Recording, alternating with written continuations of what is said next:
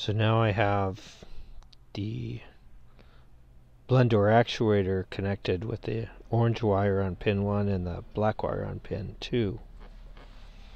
And there's that same orientation on the connector. So we're going to see if we can actually get this thing to rotate.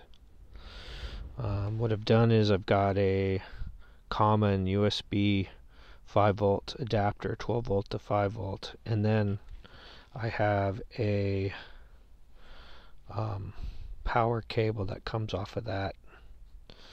And it just basically is this is 5 volts here. This is uh, positive and this is 5 volt positive. This is negative.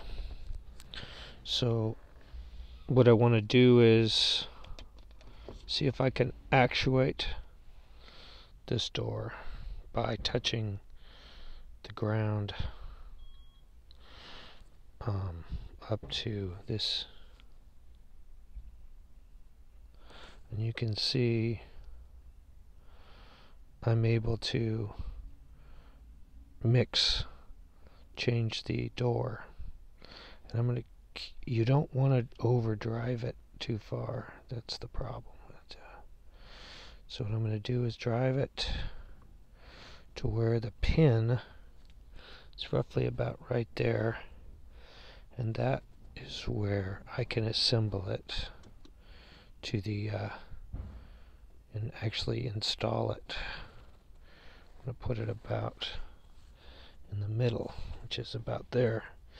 So we know now that that this actually this thing actually runs. There's other pins here, but um, there's some other tests that that you that you can uh, go through and see oh, the full test. I did another video, but this is uh, how you actually move the actuator to get it into installation position again. So now, let's see how we can drive it the other way.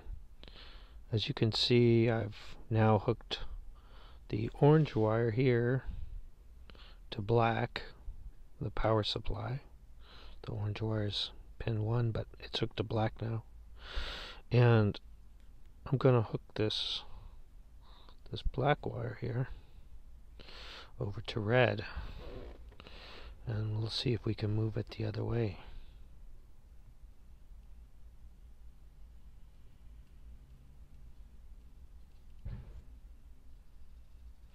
And it's moving the other way. So all you have to do is reverse polarity and you can move it the other way.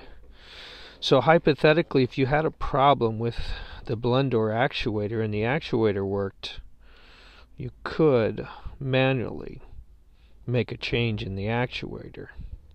Um, basically by moving this around. If you were to dis disconnect the plug, and you could just move it.